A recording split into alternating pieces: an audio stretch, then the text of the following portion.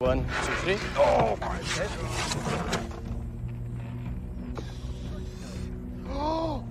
Oh, Do I sure you no want to do this? way.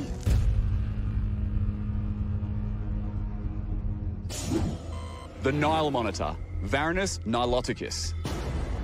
It is the longest lizard in Africa. It can reach seven feet in length and weigh 45 pounds.